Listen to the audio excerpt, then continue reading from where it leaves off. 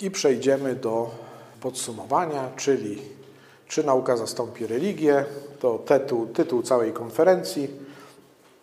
No i tutaj jesteśmy w tym bloku związanym z podsumowaniem, tak? czyli sobie dość szybko przebiegliśmy. Tutaj mamy ten plan. Jesteśmy oczywiście w ostatnim punkcie. Zobaczyliśmy we wprowadzeniu trzy wersje kreacjonizmu, cztery wersje kreacjonizmu, trzy wersje ateizmu, tak? E, później, który z kreacjonizmów chce zastąpić naukę i w jakim zakresie, tak? W największym zakresie chce zastąpić naukę, kreacjonizm fundamentalistyczny.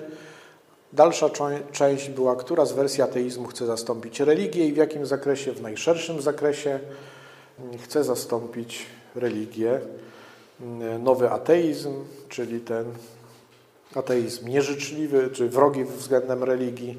No i teraz mamy podsumowanie, tak? Czy nauka uzupełni religię, powodując na przykład jakieś uszczegółowienie ustaleń doktrynalnych i która z wersji kreacjonizmu jest w stanie to zaakceptować, tak? To już zupełne e, podsumowanie. Tak naprawdę odpowiedź na dwa pytania.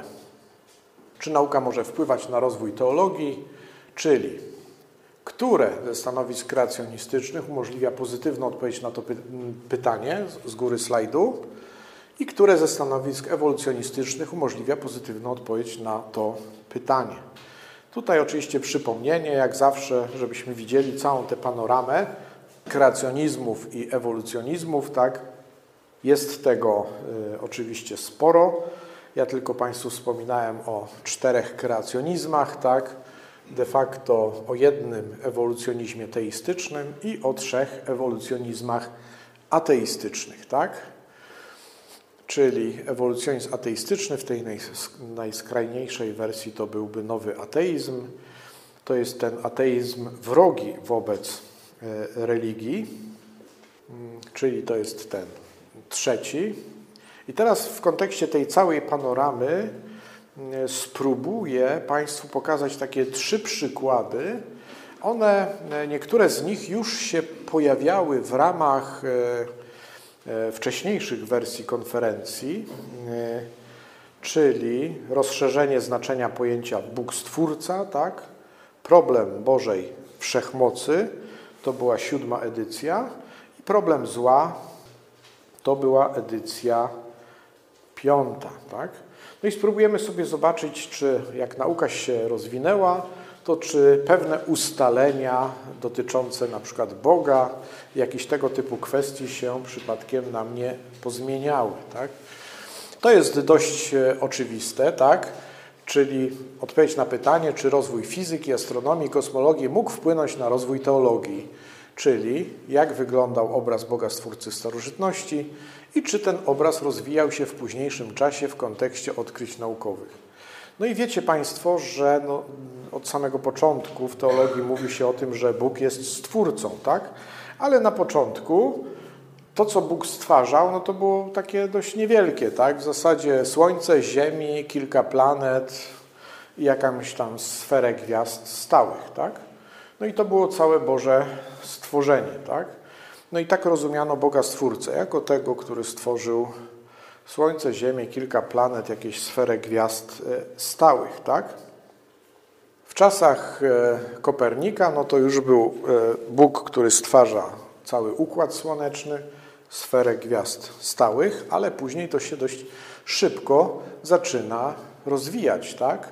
Na przykład Bóg okazał się stwórcą jednej galaktyki, tak? Później zauważono, że w takiej jednej galaktyce to już nie jest jedno słońce, tylko od 100 do 400 miliardów słońc, tak?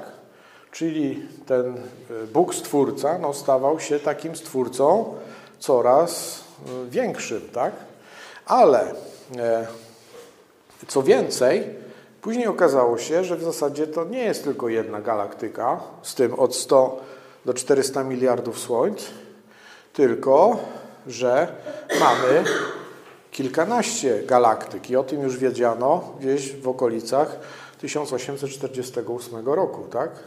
A współcześnie, jak Państwo wiecie, mamy tych galaktyk miliardy, tak? E, zaczęło się od odkryć Hubble'a, e, a współcześnie wiecie Państwo, że to też się szacuje na przynajmniej 100 miliardów galaktyk, tak? a w każdej z galaktyk od 100 do 400 miliardów słońc. Tak? Połowa tych słońc, jak się szacuje, ma układy planetarne. Tak? Więc to są, e, mówiąc nie tylko metaforycznie, astronomiczne cyfry. Nie? Czyli tak naprawdę zakres Bożego stworzenia no, zmieniał się w czasie i to dość mocno, tak? Bóg stawał się coraz większym stworzycielem. Od Słońca z Ziemią aż do 2000 miliardów galaktyk, oto aktualne szacunki, tak? Czyli 2000 miliardów galaktyk, a w każdej z galaktyk od 100 do 400 miliardów słońc, nie? To są takie cyfry. To jest rozumienie Boga Stwórcy no, zmieniało się wraz z rozwojem fizyki, tak? Czyli inaczej rozumiemy bycie tym, który stwarza. Nie? Druga rzecz, rozumienie Bożej Wszechmocy, tak? jak się rozwinęło. E, przed powstaniem nauk empirycznych e, rozumienie Boga jako wszechmocnego, e, znaczy rozumiano Boga jako wszechmocnego, to znaczy jako tego, który może czynić wszystko, co tylko zechce. To była tak zwana wszechmoc absolutna, tak? Czyli Bóg, który czyni wszystko to, co zechce. Oczywiście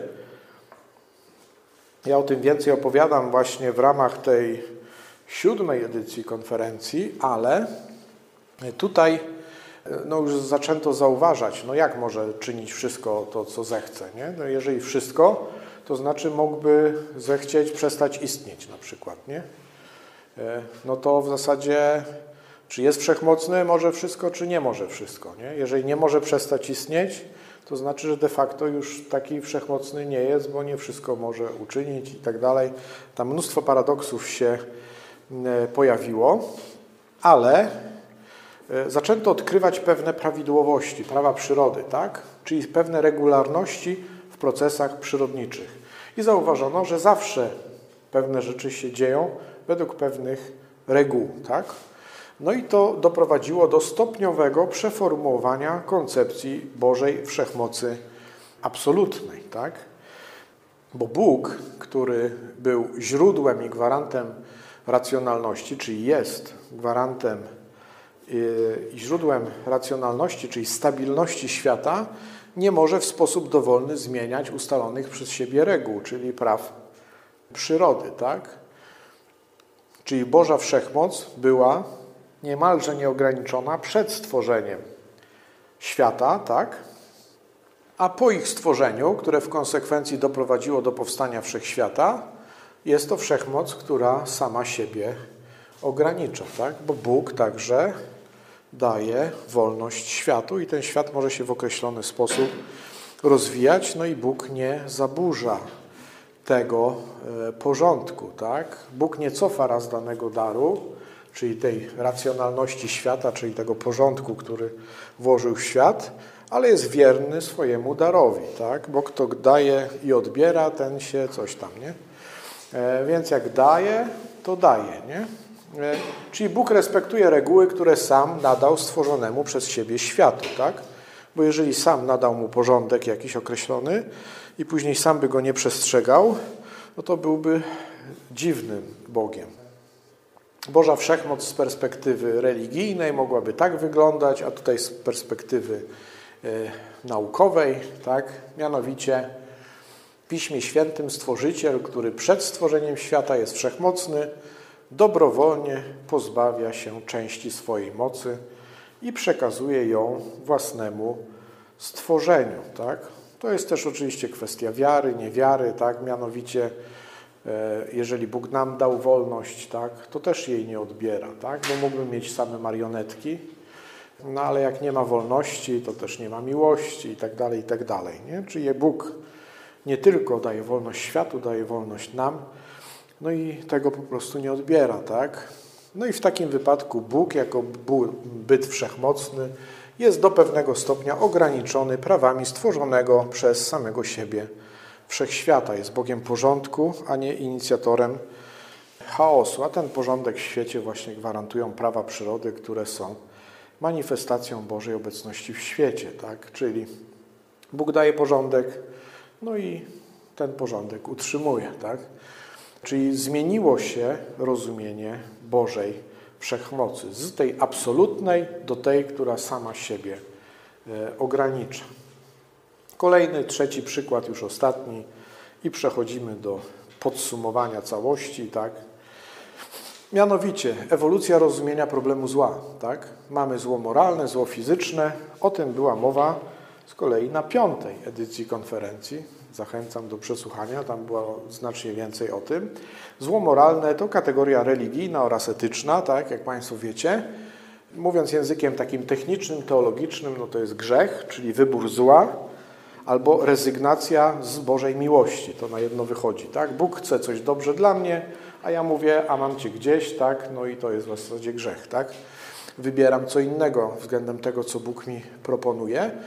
Tak naprawdę to cena wolności, którą Bóg obdarzył ludzi. To jest opisane też w barwny sposób w Księdze Rodzaju 3, o egzegezie Księgi Rodzaju 3, czyli o czym tam ten gadający wąż z drzewa, tak i tak dalej. O tym była mowa na trzeciej, czy w ramach trzeciej edycji e, konferencji, tak? No i przykłady, to tam wystarczy sobie telewizję włączyć i mamy tego mnóstwo, tak?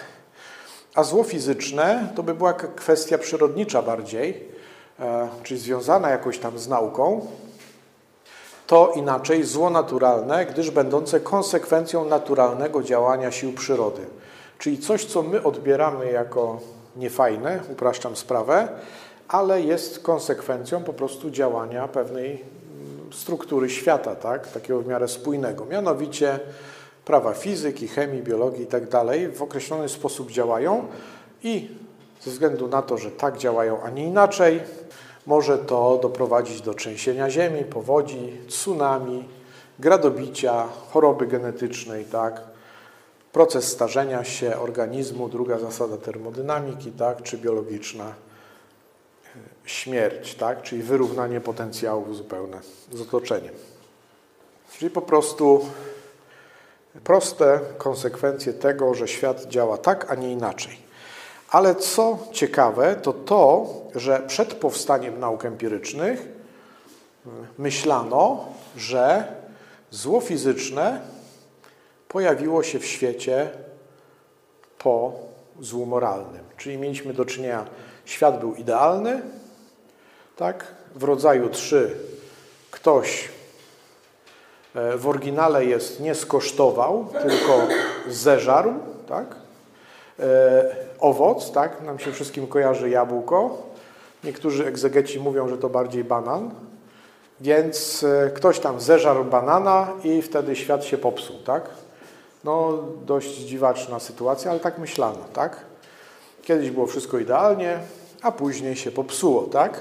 Czyli E, przed powstaniem nauk empirycznych myślano, że zło fizyczne pojawiło się w idealnym wcześniej świecie, dopiero gdy człowiek popełnił grzech, to jest zło moralne. Tutaj mamy taką literalną interpretację rodzaju 3. Tak? Świat był idealny, a później stał się mniej idealny. Tak? A współcześnie wiemy, że zło fizyczne istniało od początku świata. Tak?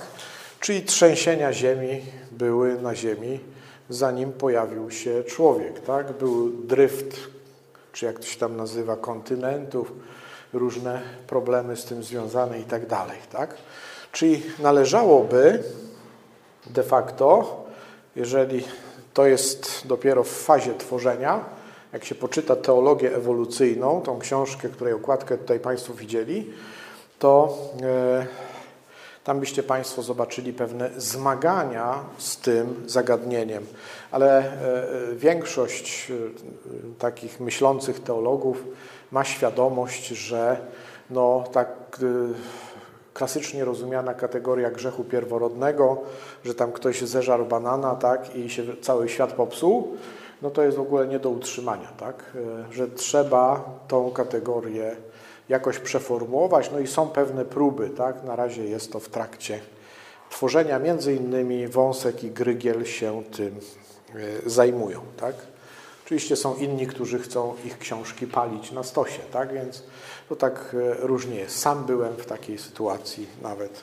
Oczywiście to było w żartach, ale ktoś chciał tam wrzucać ich książki do ogniska, na którym się kiełbaski smażyły. Akurat jeden z autorów był przy tym ognisku, więc a już żeby nie rzucać nazwiskami, to lecimy dalej.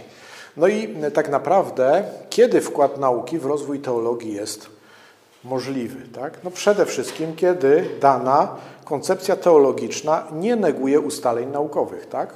Bo jeżeli jesteśmy kreacjonistami fundamentalistycznymi, no to my już wszystko wiemy, zżarliśmy wszystkie rozumy, łącznie ze swoim, tak? I nam już nic nie potrzeba, tak? Koniec myślenia. Czyli dana koncepcja teologiczna no, nie może negować ustaleń naukowych, tak? Jest gotowa reinterpretować swoje dotychczasowe ustalenia pod wpływem odkryć naukowych, tak? Czyli jest otwarta na pewne zmiany, jeżeli chodzi o kontakt z nauką, tak? Nie próbuje unikać dialogu z nauką, tak? Czyli po prostu jest w dialogu z nauką, czyli nie twierdzi, że nauka zupełnie o czym innym, a teologia zupełnie o czym innym mówi, tak?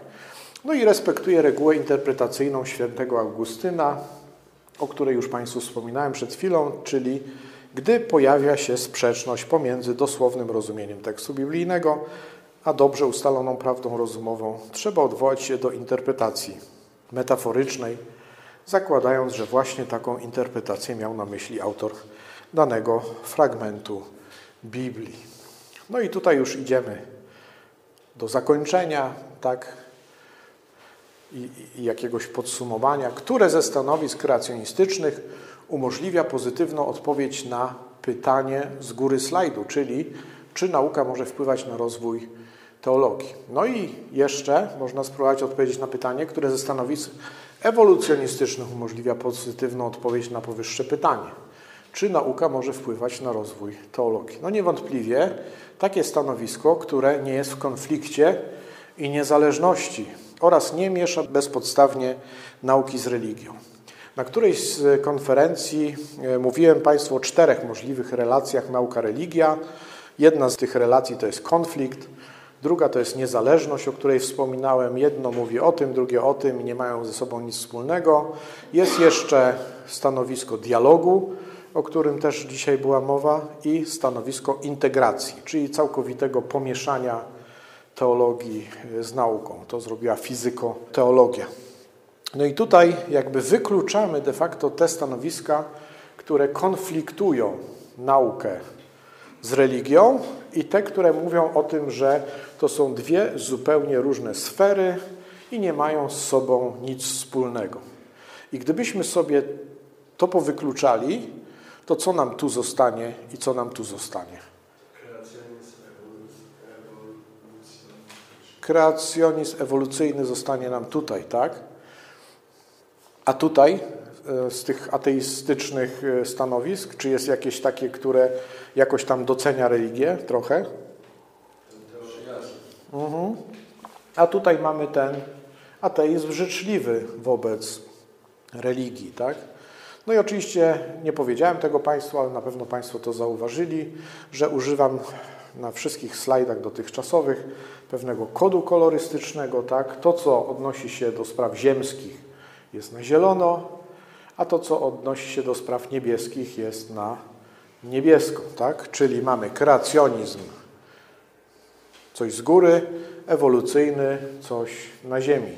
A tutaj mamy ateizm, to raczej coś takiego bardziej przyziemnego, a życzliwy wobec religii, no to może gdzieś tam kierujący się e, do góry. Tak? E, I to, co Państwu próbowałem powiedzieć i pokazać na tym slajdzie, ale także na kilku poprzednich i w zasadzie całą tę moją wypowiedź e, ładnie streszcza coś, co przeczytał Jan Paweł II, coś, co opublikował pod swoim nazwiskiem Jan Paweł II, a coś, co najprawdopodobniej napisali Heller z Życińskim, tak?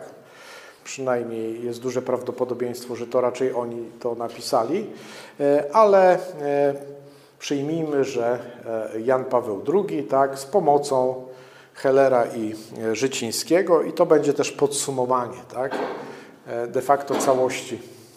Mianowicie, nauka może oczyścić religię z błędów i przesądów, religia może oczyścić naukę z idolatrii i fałszywych absolutów.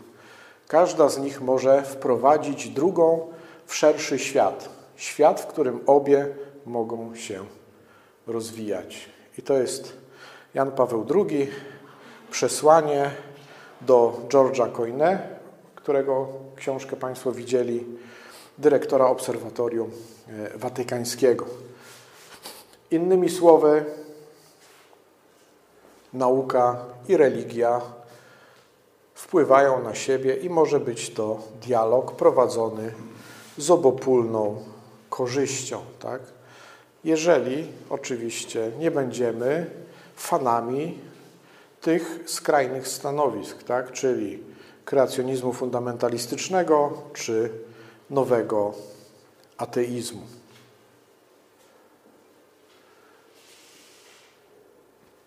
No i tu przechodzimy e, do głupich odpowiedzi tak? i mądrych pytań. Jeżeli Państwo e, e, mają coś, co nie wiem, było niejasne albo wymagało dopowiedzenia,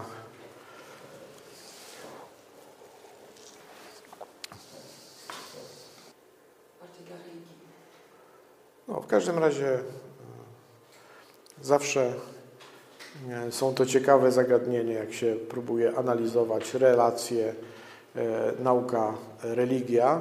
Coś Państwu pokażę, jeszcze dwa slajdy mam. Mianowicie jeden to jest zachęta do zajrzenia na stronę internetową www.naukareligia.pl. Tam są podcasty. E, a jak ktoś woli ze slajdami, e, no to jest kanał YouTube'owy, gdzie w zasadzie to samo jest, tylko e, łącznie z tymi obrazkami, nie? Więc i to macie Państwo na tych karteczkach, jakby ktoś chciał sobie zabrać, to oczywiście można sobie zabrać. Tam jest też cały mój wykład taki monograficzny, który się nazywa Spór nauka religia. Z tych konferencji, które tutaj się odbywały, de facto zrodził się wykład dla studentów filozofii, spór nauka-religia, e, ale wątki związane z, z tym sporem nauka-religia e, jestem zobowiązany także wprowadzać w ramach zajęć filozofii przyrody. Się pojawiło nowe ratio studiorum dla teologów, przyszłych księży i oni w ramach przedmiotu filozofia przyrody muszą mieć omówione podstawowe zagadnienia związane z relacjami nauka e, i religia, więc to też z tego wykładu de facto jakieś takie wybrane fragmenty w ramach tych zajęć e, dla teologów też omawiam. No i co ciekawe, e, też prowadzę zajęcia z filozofii przyrody dla fizyków i tam też omawiam o relacjach nauka-religia, także od chyba od tego roku akademickiego właśnie mam przyjemność prowadzić zajęcia na trzech wydziałach, które kończyłem, tak? czyli Zajęcia prowadzę na Wydziale Fizyki UAM, na Wydziale Teologicznym, no i na Wydziale mm, Filozoficznym naszego uniwersytetu. Także się to jakoś poukładało. Jeżeli chodzi o, y, bo zawsze jest zapowiedź, może być może tym razem ostatnia, bo na razie nie mam więcej pomysłów, ale chciałbym jakoś zamknąć ten cykl y, dziesiątą konferencją, za rok, e, ona zawsze się odbywa e, w stałym, zmiennym terminie, tak? To znaczy jest to zawsze środa po środzie, pierwsza środa po środzie popielcowej, nie? Czyli zawsze jest stały termin i to e, będzie konferencja o ładnym tytule Ateizm, ateizm. To będzie takie podsumowanie ustaleń dotychczasowych dziesięciu konferencji poświęconych relacjom nauka i religia, czyli takie the best of. Zobaczymy sobie najważniejsze wątki z tych dziewięciu wcześniejszych konferencji, czyli sobie próbuje, spróbujemy udzielić odpowiedź na pytanie, co udało się ustalić w ramach właśnie cyklu tych 10 konferencji. No i to jak zawsze będzie środa, tydzień po środzie popielcowej, a że środa popielcowa w przyszłym roku jest 5 marca, no to będzie to 12 marca 2025, także mam nadzieję, że...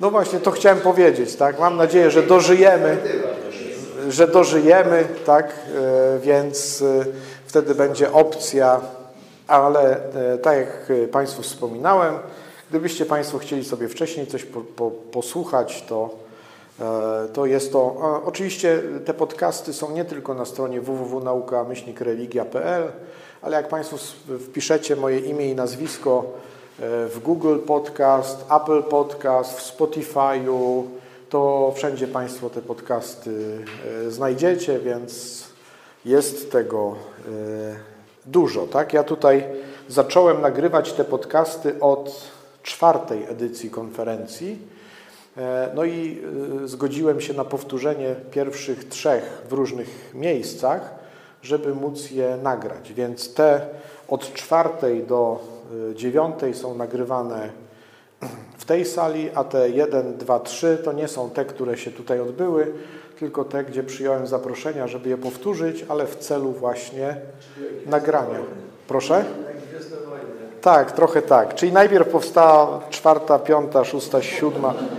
Ale nie, w międzyczasie powstawały pierwsza, druga i trzecia. Tak? Pierwsza na przykład była nagrywana w, w Gdyni, tak? w jakiejś takiej super sali konferencyjnej, w jakimś wieżowcu, gdzie była za mną e, szyba taka wielka z widokiem na zatokę. Tak?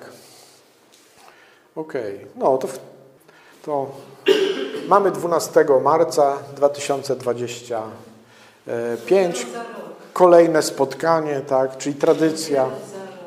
Tak.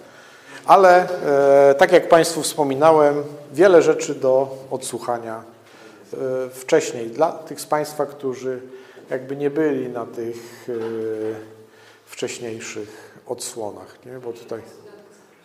Proszę? Tak, o epigenetyce. No, no mogło być ciekawe. Dziękuję.